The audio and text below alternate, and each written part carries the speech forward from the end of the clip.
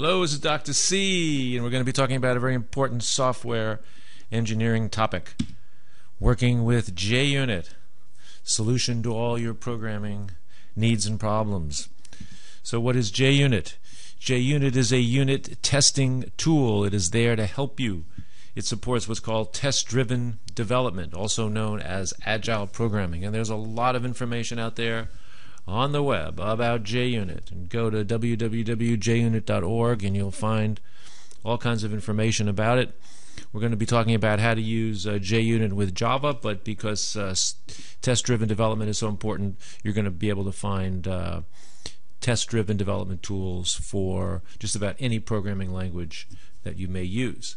So, what I want to do is let's jump in and we will look at a, write a very simple program in a test driven development mode and see how we can use JUnit to help us with it. Okay, so let's go over to uh, NetBeans because NetBeans has a built-in capability for running JUnit that you're going to find uh, very attractive. You don't need NetBeans to do this, uh, but it just makes things easier, and that's the example we're going to use. So I've got a package here. Uh, just set up a package earlier. I'm going to create a Java class and I'm going to call it I'm going to call the class uh, my agile test. So I'm going to set up this class my agile test. Got the comments up here. I'm going to close that out. And what I want to do with this class is I want to write a function that will add keep it very simple so public int add now, to make life interesting, I'm going to pass it two string parameters as you see. And that's the function I want.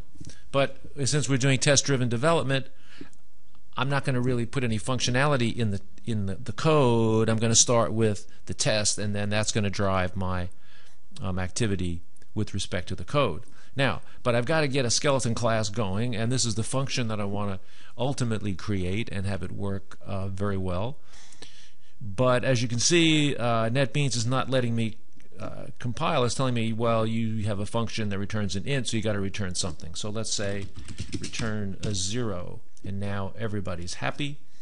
Uh, there's no main here, but uh, we have a syntactically correct program. So now what I want to do is I want to have JUnit test this particular piece of code.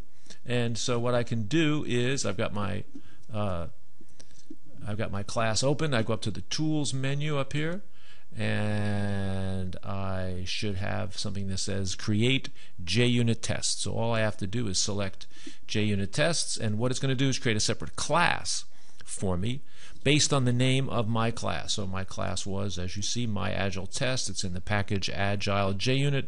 So this class is also going to be in the same package, and it's going to be called my Agile test test. It depends the word test to the name of the class. So this is my Agile test test. Okay.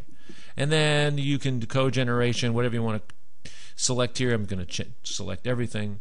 And now, bingo, we now have a new class called My Agile Test Test. And what you're going to see here is a, uh, a number of functions that have been created for you. Most of these you can ignore right away. This is a before and after and before, and this is to set things up when you're doing extensive testing. So if you want to find out more about that, you can look at it. But now we ro- scroll down here and we see the heart of the testing. This, for every method that was in the class that we had previously, was only one, um, it will generate a test function, a test method for you. And it will put the Java annotation at test in front of this function that it has created for you. This is very important. This is how it works. This is uh, JUnit uh, 4 works by Java annotations. So it's very simple. Um, and so the output is the following, or you see what the the JUnit has generated. It prints something that it's going to be testing your add function. And it knows that your the function that it's testing add takes two strings. So it sets things up for you to put some strings in here. So let's put some strings in two and put another string in two. And notice what it does. It creates a new instance of the class, my Agile test, and it calls it instance. And we have an expected result. It knows that this function returns an integer, so it begins by saying the expected result is going to be 0. Here we actually make a call to add S1, S2, and we get the result. And this is the end on this line, on let's see line 50, is the essence of JUnit. The introduction of assertion statements. So what we want is we assume assume you're going to know what the result of your, your test is given two parameters. So 2 and 2 is going to be expected result. It's going to be 4. Okay? And uh, if everything is okay, if it asserts equals that the expected result equals the result of your function, then all is good. Um, otherwise, it will fail. Now, one of, one of the things to notice is when JUnit generates this uh, this code for you, it has no idea what the function is supposed to do, and so the default behavior is going to be a call to this fail function. So no matter what's going on up here, we're going to fail. So I want, to, want to show you what this is going to look like when we have a JUnit failure. So I'm going to go up here to the run method and I'm going to just run this uh, run this file. And you see down here, okay, no test passed, one test failed, and uh, we got a couple of couple of failures. We actually got the uh, a failure here asserting equals because we expected 4 and we returned 0 but uh, remember that function returns zero. So let me let me just show you this. I'm going to set this to zero, so it'll pass this test, but then we're, then we we're going to fail down here. At least that's the hope. So let's run this again. Run file, Shift F6, and okay. So we still have a failure. See the red here, and uh, the test case is a prototype, and that's the message that came out of the fail. So this is good. This is exactly what we want. We want things to fail um, in this case. Um, so now our job is to is to try and modify the code so that we can have a test case that passes. So so we begin with a skeleton. We move to the to the uh, the JUnit test and then we move back to the code. So this is this is this is the essence of what we call agile development. So let's let's step back and we'll go back to our code here. Okay, so we're now looking at the uh, the original code that we want to write um, in a way that is correct. So let's come down here. What we need to do is we need to uh, convert our um, string variables into integer variables. So let's go to uh, uh, let's create a variable called uh, int1 and this is going to be uh, created using the integer class parse int that's what we want and notice this is uh, NetBeans is smart enough to know that we're somehow grabbing one of these parameters here okay now what I'm going to do here is I'm going to copy this line and we're going to do the same thing for the second integer Okay, int1 equals and int 2. And now I'm going to return int1 plus int 2. So given the grand scheme of things, this looks good. However, as we'll see, there's a slight problem with this, but let's uh, see if you can find it. But I'm going to save this file. And now we're going to go back to the test program. And here we're going to be passing 2 and 2. Our expected result is going to be 4 and we're going to assert equals and now since we actually have some code we're going to take out this to do review the code remove the default call and now all we have to do is work with this assert equals and we will see if we pass the test. Okay so I'm going to run this file and it's running and the test passed. Okay so things look good. Let's uh, let's try this. So now, now what I'm going to do is I'm going to add another code because what we want to do in testing is we want to test all the possibilities where we can mess up. So I'm going to add this. I just made a copy of the function, and I'm going to change this name to add 2 because we can't have two functions by the same name. And now let's go to 2 plus 3, and we'll see what what that is because here we had both 2 and 2 so you want to change it up you want to make you want to get the range of input variables so 2 and 3 should be 5 and let's run this and we'll run the file and see what happens and whoa whoa whoa notice we're at the 50% mark the first test fa- passed but the second test did not so this is uh, down here you see the uh, the message expected 5, but it returned 6. What is wrong with this code?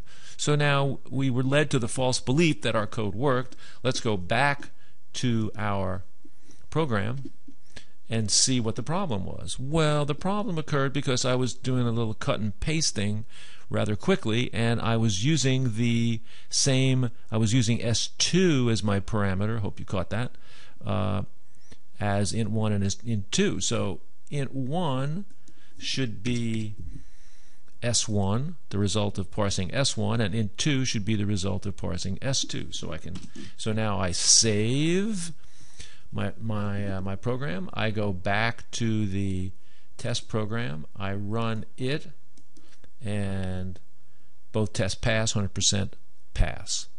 So I'm iterating. I'm I'm I'm I'm, I'm testing things out.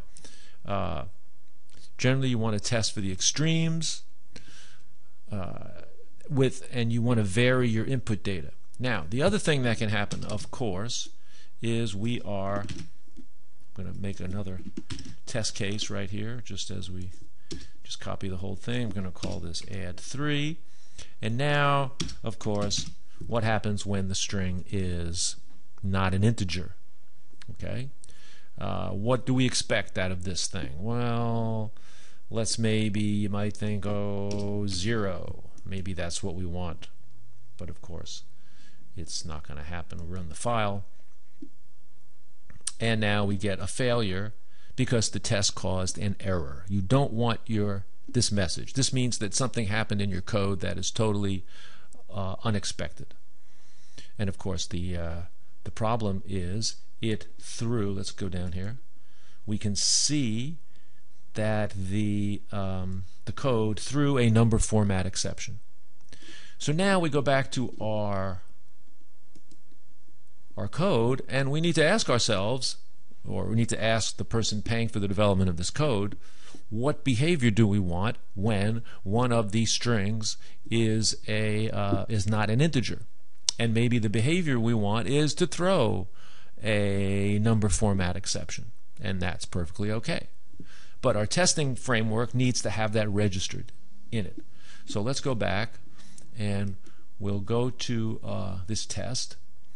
And what we are going to say here is in uh, in parens in the in the uh, the test we're going to say expected equals number format exception class. I misspelled that, so let's fix that here.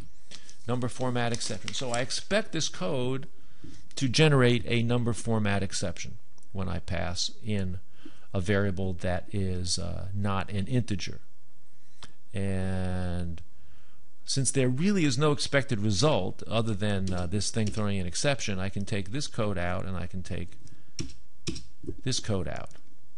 Okay? So I've got a result, but when this happen, when this uh, code executes on line 70, I would expect a number format exception. So let's see how that works. I'm going to run the code, and everything passed. I get 100% passage for that. So these are the two main things you need to be aware of when uh, when doing test-driven development. You want to start writing your tests and you can continue to add tests and it's really painless to, to run these tests. But this is a way you can feel sure about the uh, the correctness of your code and it's a lot a lot better than writing system out print line tests in some main function because you can mess up and you don't want to mess up. So this is Dr. C. Enjoy your JUnit and go forth and test